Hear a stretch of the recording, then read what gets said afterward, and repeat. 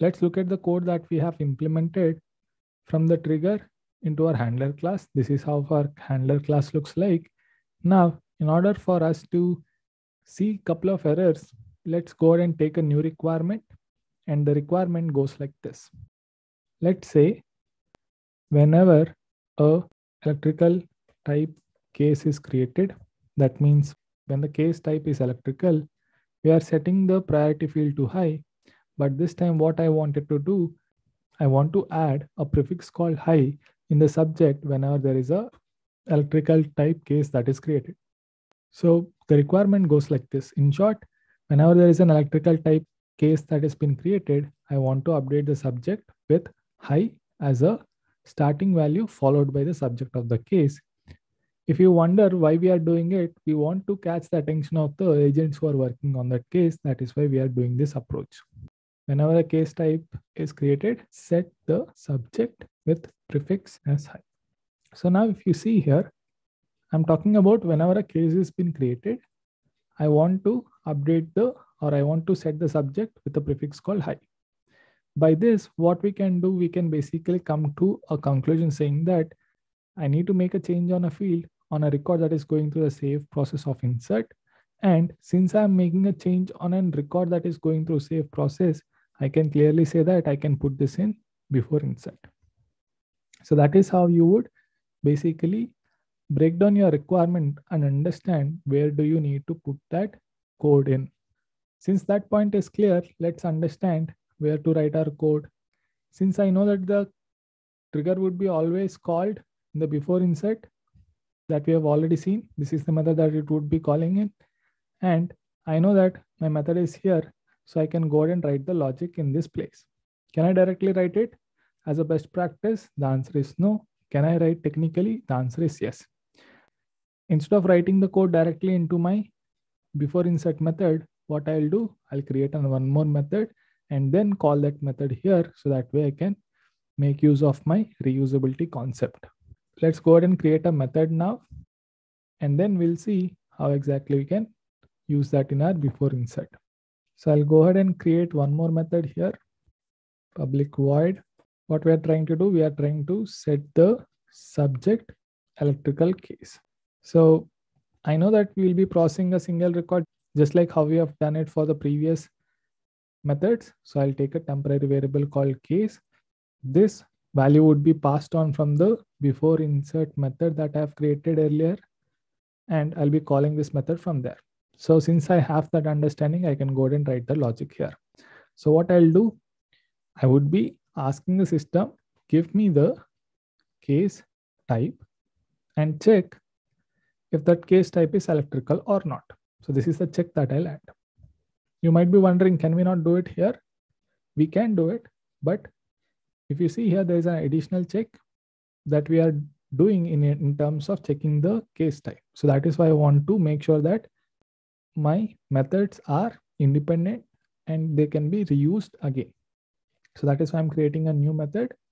If you have an option, you can split this logic and you can apply the condition that I'm adding here, and you can do the both the actions in one method itself. So we have written temporary case dot type is electrical or not. So that is what the question we have asked.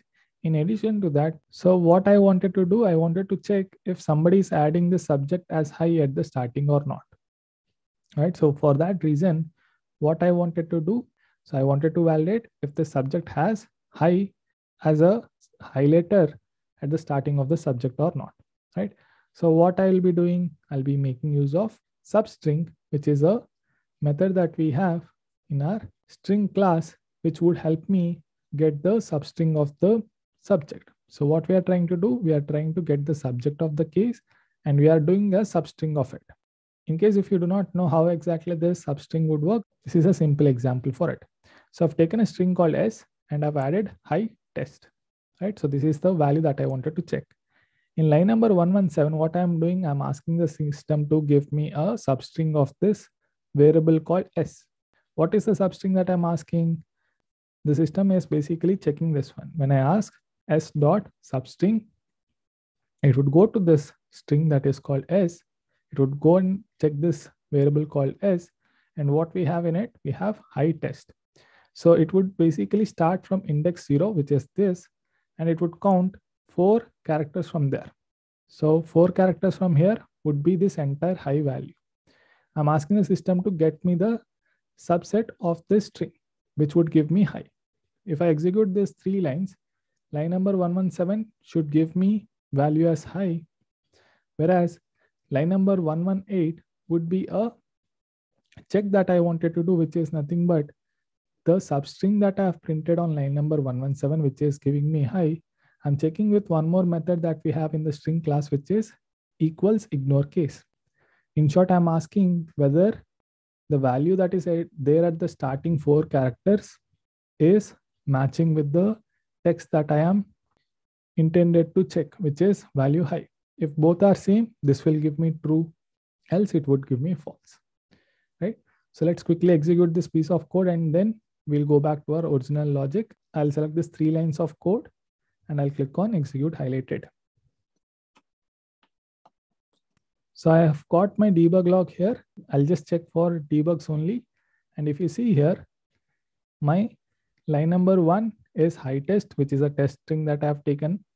And on line number 117, which is printed as two, because this is line number one, according to the number of lines that I've executed, this is line number two, line number three. On line number two, we have the value as test that I've printed. In addition to that, substring value is given as high. So this is the test and this value is coming as high, which is expected.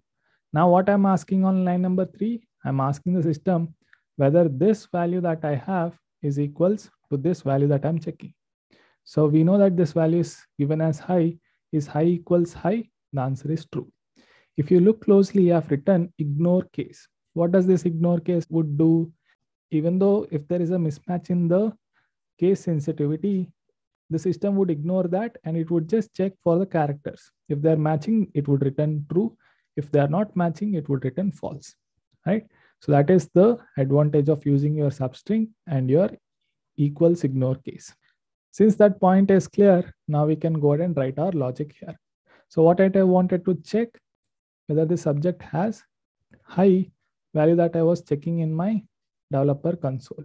So I'll go ahead and write the check that I wanted to do right? So I've just copy pasted the same code, just that instead of S, we have written it as temp dot subject. So that is what we have written here, right? So this is how you would write the syntax for it. So if you see here, we have written this check. What it would do if there is a high value, which is matching with the first four characters of this case subject, it would give me true. What do I need to do if that is not the case, if the case subject doesn't have high value in its subject at the starting four characters, that is where I need to update the subject or that is where I need to set the subject saying that I need to append high at the starting of the subject and then rest of the subject that is already there in the case. So since I want the negative logic of it, so that is why I'll put a not here. Why am I putting not? If this is true, that is where I do not want to do anything. But instead, if that is not the case, that is where I wanted to set the subject differently from what is already been set by the customer, right? So that is what I'm doing here. So once the logic is done, what we need to do, we need to get the, so this is my case subject field. For that case subject field, what am I doing? I'm putting value high and a hyphen just for an identification. And then the normal subject that we have. So let's say the subject of the case is like this. Fix my laptop is the case subject, right? So whenever the case subject comes in, what we wanted to do, we want to append high and the rest all value that we have. So whenever the case comes in, we're checking for the first four characters. Here, the first four characters are not high. So that is why this logic would be, till this point, it would be false. Not of false would be true. And this part is also true if I'm setting the case type as electrical. Then what we are doing, we are taking the subject, adding high to it, and appending the rest here. So my updated subject would look like high hyphen, right? We would have the same subject that the user has saved the case with. So that is what we have done here. So we have our method ready. So let's go ahead and use it in our before insert. I know that my before insert is here. What I'll do, I'll quickly go ahead and paste that method and pass the variable of the case, right? So since I'm iterating over the list of cases, which is nothing but my trigger.new, I'm passing this variable called C to this method. So that way it would be executing each and every case that is going through the save process, that too of insert, all right? So I've saved my logic. Let's test this out. So when my logic would be running, it would be running when I set the case type as electrical. Let's put that as electrical. And what I will do for testing purpose, I'll say, I'll go with the same example that we have done, fix my laptop. So this is my subject. I'll go ahead and click on save. So it is giving me an error saying that populate all required fields. I'll go ahead and do it and click on save this time. So if everything goes fine, my subject needs to be updated with high hyphen the subject that of user entered. So if you see this logic is coming from the trigger that we have written in the before insert, we are appending this high to the existing subject that we have. So this would get the attention of the agents who will be receiving these cases, right? This is good. Now we have started our discussion saying that there are a couple of common errors that we are focusing on, but we ended up building a new requirement, right? So let's understand what was the error here. So why we had to introduce this new requirement for our common error scenario.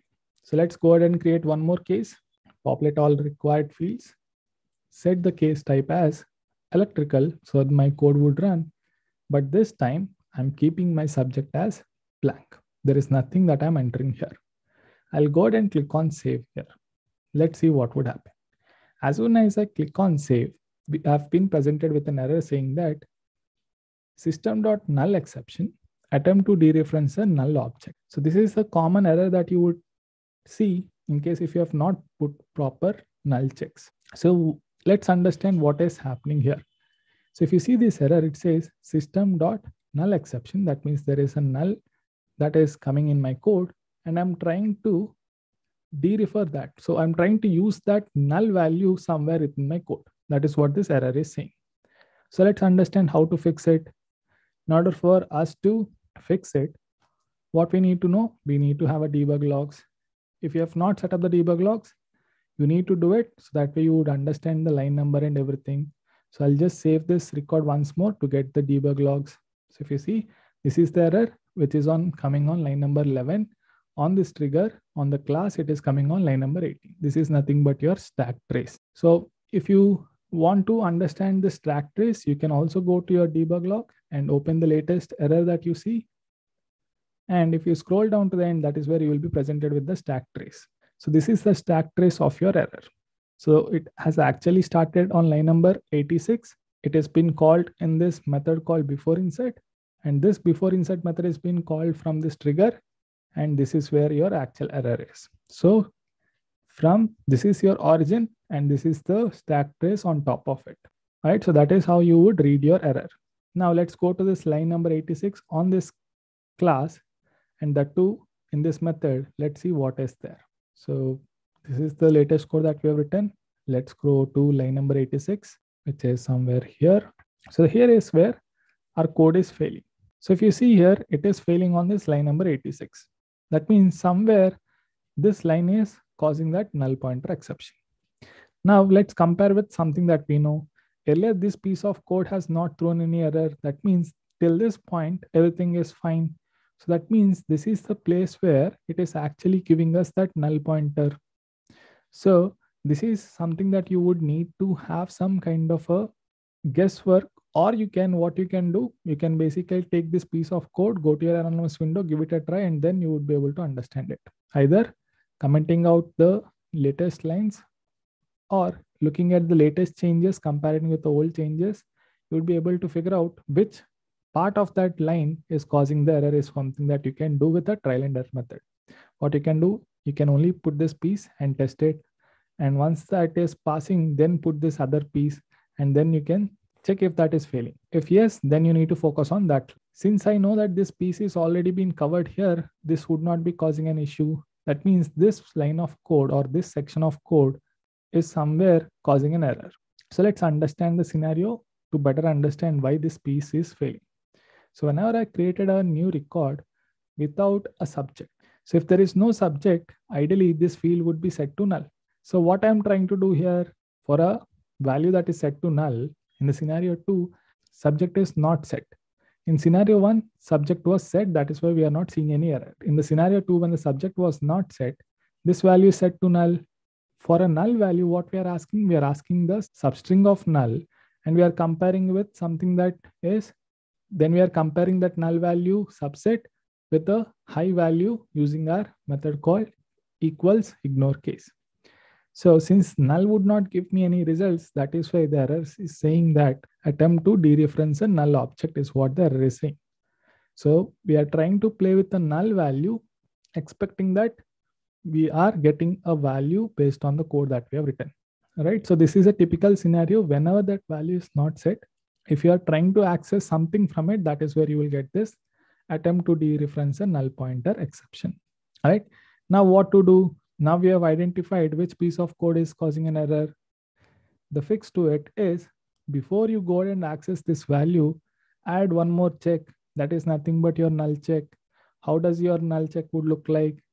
I would ask the system before you do all this processing of subset and comparing it, check if the subject value is not equals null. Then only proceed with this other value. If the subject is null, this value would be set to false. So once it is set to false, this condition would not be executed and I'll not see a null pointer exception or attempt to dereference a null pointer exception. Right, so I've added this check, right? So this check is nothing but check if the subject is not null. If that is the case, if the subject is populated, then go ahead and check for these values. So that is why I've appended with an and logical operation here. So once done, I'll save it. Let's test the same scenario where I do not populate the subject but I'll still click on save. So let's see what would happen. If I click on save, this time I do not see any error. My case was successfully saved. The reason for that is simple null check that we have added in our condition. So if you see this debug log now, we do not see any error, but this says success. The reason for that is the condition has came here. It has checked for electrical, which is true. This line of code is set to true because we are setting the case type as electrical. And this piece of code, true and false in an AND operator would give false. So since the condition is false, this condition would not be executed. So this entire if is been skipped and it would execute the next lines of code that is there. So that is how avoid your attempt to dereference null pointer exception. So whenever you get this error, do not panic, check on which line we are getting this error. Once I identify that line, check for possibilities of a value being a null if there is a possibility of any value being null, put a null check. That way you would avoid this error. Hey guys, if you like this video, do like, share and subscribe to SFDC Quest.